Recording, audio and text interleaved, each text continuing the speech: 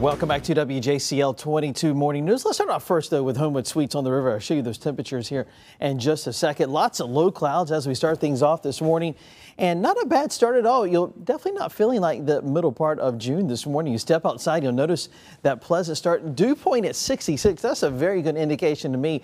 You get that dew point down below 70. That's when you get that nice, refreshing air mass this time of the year, especially north wind at 7, 69 degrees. And that's where most of us are starting off this morning, are in the 60s, like in Baxley, 65, 67, Reidsville, Glennville, Midway, 68 in Ridgeland, 69 in Beaufort, and Hilton Head at 70 degrees. Now, live radar had early this morning after midnight up to about 4 this morning. Has some showers in parts of uh, Beaufort County. Most of that rain is lifted to the north. A weak area, low pressure just off the Charleston coast that continues to lift away. And really do not anticipate a whole lot of shower activity this morning and even into the early afternoon. You see most of us are just seeing those clouds out there as we start off. Notice Futurecast, though. Showers to our north as we go into the afternoon. A mix of sunshine and clouds. And it's just showing a spotty shower that will be possible from about 2, 3 o'clock all the way into the evening. Probably from Hilton Head, maybe Bluffton through Savannah, all the way down to maybe about Richmond Hill.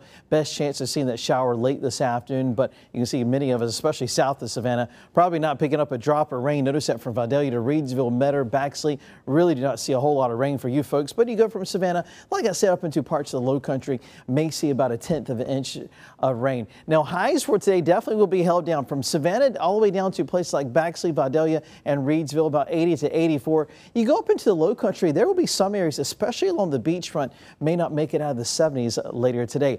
Seven day forecast, there's that small chance for a shower or thunderstorm today and also tomorrow.